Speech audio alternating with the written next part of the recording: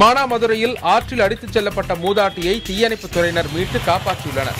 சிவகங்கை மாவட்டம் மானாமதுரை அருகே உள்ள கீழமேல்குடி கிராமத்தைச் சேர்ந்தவர் மூதாட்டி சோனைமுத்து.